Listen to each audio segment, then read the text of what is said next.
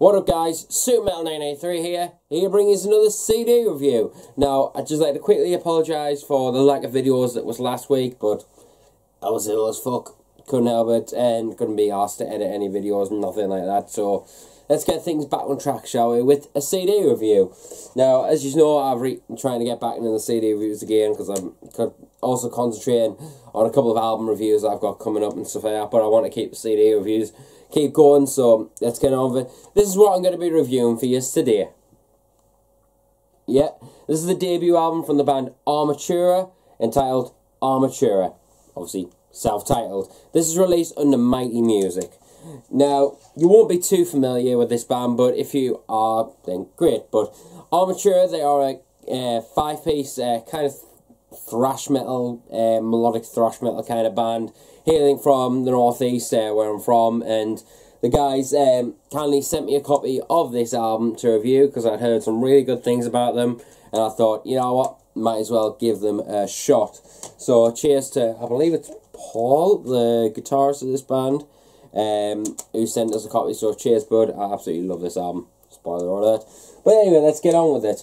But yeah, um, this is the one of the first albums that I came across this year, um, and one of the ones that I actually did want to review and talk about on this channel um, quite a while back, but different things got in the way, and I wanted to get some um, extra content out there, and this one kind of got pushed kind of to the side. Sorry. But um, I'm here now to do a review of this album, and this album definitely was a big surprise for me, and definitely something that I have really fucking enjoyed since I first um, laid my ears upon it, you could say. Um, released on January 19th through uh, Mighty Music. Um, Armortura, I've heard their name going about the scene um, quite a bit over the past, oh, let's say, six months or so, maybe nine months, something like that. I've heard the name mm, pop up on various bills and never, in all honesty, knew who they were. I just knew they were getting on quite a few bills. And when I heard that they were releasing their debut album with them being a Northeast band. I had to check them out. And now we arrive at the debut album, which is self-titled. It runs about 54 minutes in length, and what you can expect when listening to this album is a very fun, very enjoyable, and very riff fest thrash metal album. Um, it's kind of got a bit of a modern kind of feel to it as well. It's like it doesn't feel like too old school sounding. It's got a very ni nice, sweet, crisp production behind it that definitely echoes and makes the riff sound a little bit more intense, a little bit more harder, and a little bit more memorable. As I've said before, a good production on an album can definitely make all the difference, if you ask me.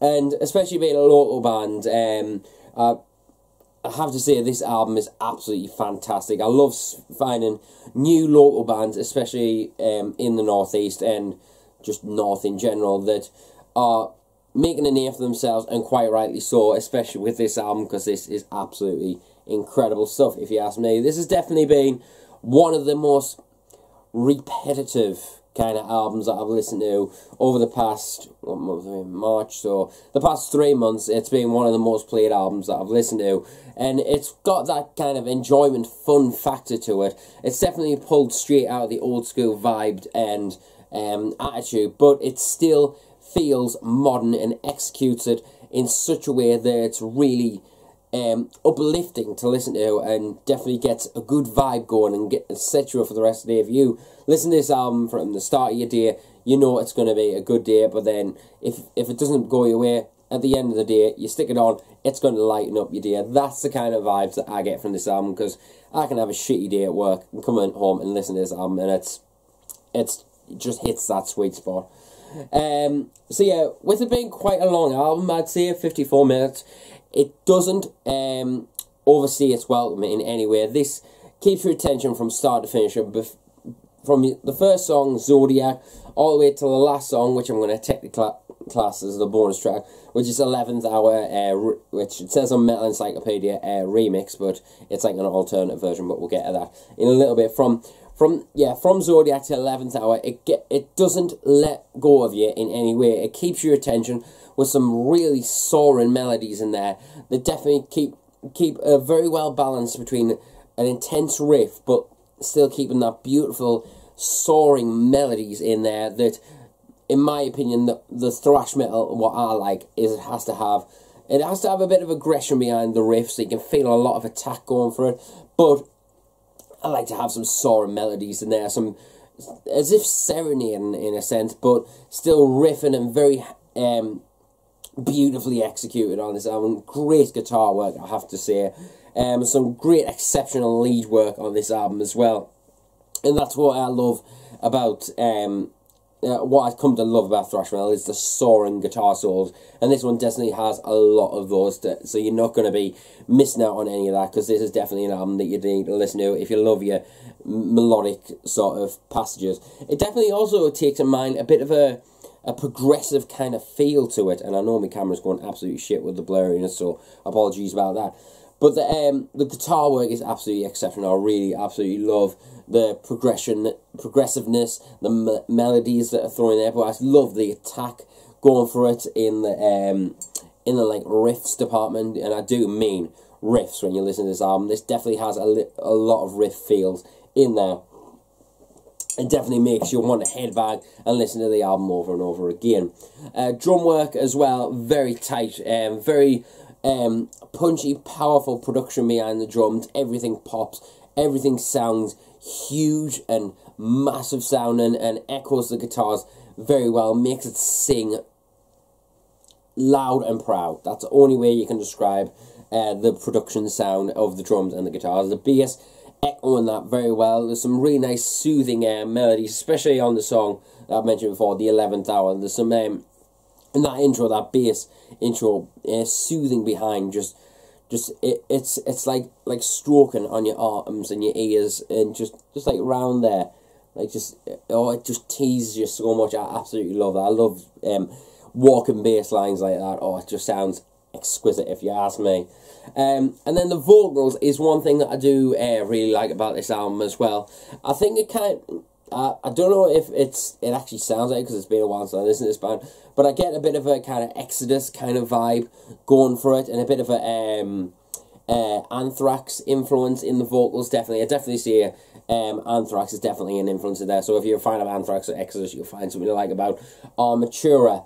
Um, but yeah, I absolutely love the vocal performance. It's powerful. It's filled with a lot of emotion and grit. It actually is really gritty. Um, it's not like um, super gritty that turns into like, say for example, a Chuck Schuldiner kind of vocal. No, it, it's it's all clean and very well expressed, but it has a bit of an edge and a bit of an aggression behind it, where it feel filled with a lot of emotional and attack going for it. I know I've said that word before, but I definitely detect a bit of that. But my favourite element, as I keep on saying, is the soaring melodies on this album. It it just soothes you and makes you makes you happy, makes you dear, and this is definitely one of those type of albums for me. Um, so yeah, um, definitely I'd say uh, tracks for me that, that you just need to check out is Zodiac, Insidious, um, uh, 11th Hour, and I might as well add, the when I said 11th Hour, it's the 7th track on the album, but there's an alternate version on track, which is track number 11, which features Jeff Waters, I believe it is, from um, the legendary iconic band Annihilator, does a little uh, you know, guitar wankery on there, and just, you know, doing all that stuff, and that sounds really good. I can't choose between the two because I think they're both excellent, excellent versions of the song. But yeah, 11th Hour, Zodiac, Insidious, and uh, I'd have to say, let's say Requiem for the Damned. That is an excellent, excellent song.